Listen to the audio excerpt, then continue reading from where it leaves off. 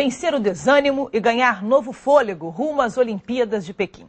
Daniela Hipólito contou ao Globo Esporte os motivos que a fizeram deixar a seleção em Curitiba para treinar no Rio de Janeiro.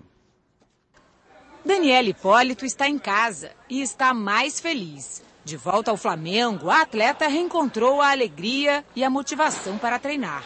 A pessoa tem que buscar a energia dentro de si, né? E é o que eu que é o que eu tô procurando fazer. Eu estava bem desmotivada, estava desanimada, emocionalmente realmente não estava bem.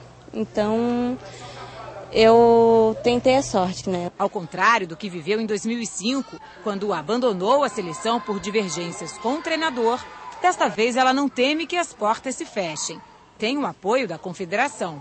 Eles me apoiaram totalmente na minha decisão, então tenho que agradecer a todos de lá. Depois de 18 anos de uma carreira vitoriosa, a atleta ainda terá que provar que está bem fisicamente para ser convocada para as Olimpíadas. Eles vão me avaliar e vão ver. Se eu estiver bem, eu eu tô com ele. Se não, tem que treinar mais para que melhore.